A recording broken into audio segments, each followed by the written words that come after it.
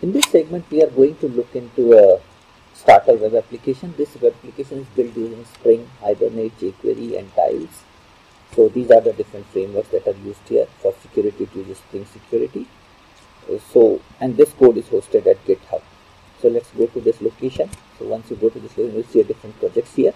The project that's of interest to us is this Spring Hibernate web app. So let's see how we can do that one. So we can we just go inside it in artifacts top there is a setup.txt.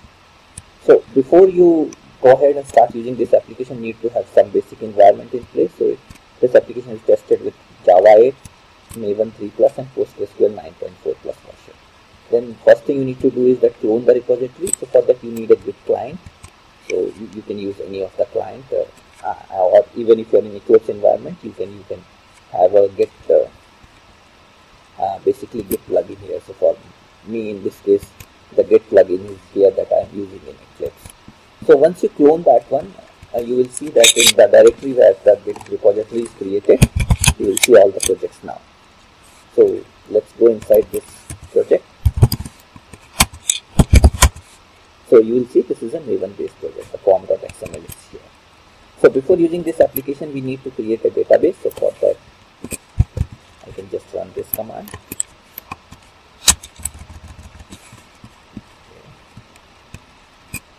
Copy paste it. Okay. So the database will get created.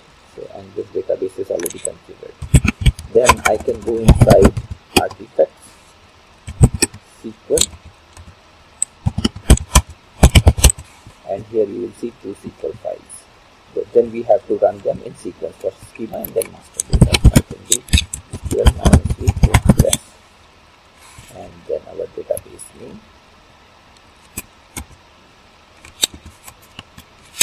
And then we can run schema.sql. So this creates the tables in the sequence and then we will run the master data. So it just inserts the data for the user table so that we should be able to log in. Now let's come back to the root directory of the project and here you will see the pom.xml. Now to run this project you just have to issue this command mvn tomcat 7 colon run. It already had got a embedded tomcat inside it.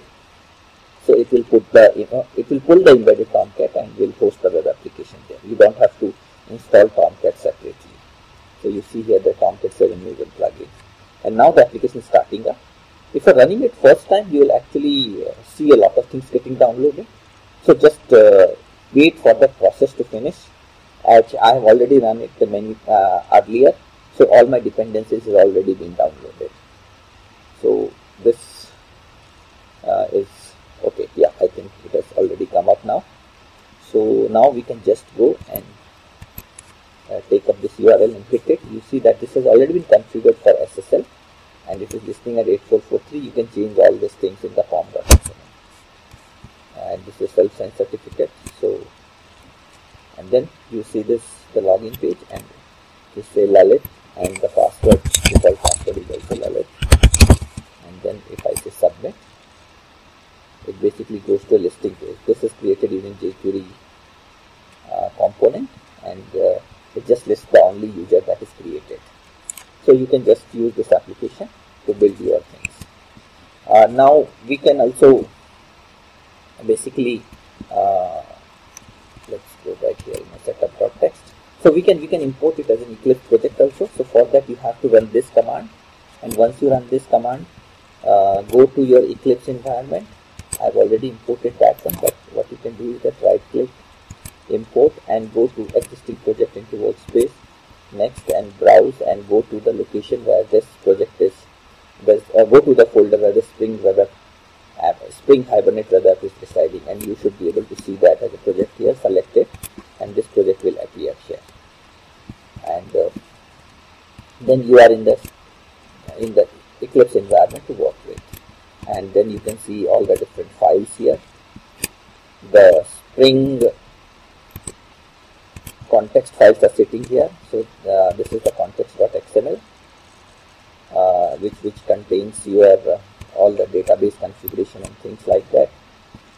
Uh, then there is this uh, security.xml which contains Spring Security and then this mvc.xml which contains the basically the MVC part of that one. The model contains the Hibernate based uh, mapping uh, table with the classes so that we have just one class user which is mapped to the table users here. And then uh, there is on the front end side there are pages uh, we are using tiles main.xml so here the uh, different aspects of tiles are configured and then you have got all your uh, JSP pages here. Uh, then the jQuery is sitting out here uh, which we are using for rendering our grid and all those things. So hopefully with this application we should be able to get a good idea of how we can build an application with Spring Hibernate jQuery and uh, this this can help us in building uh, more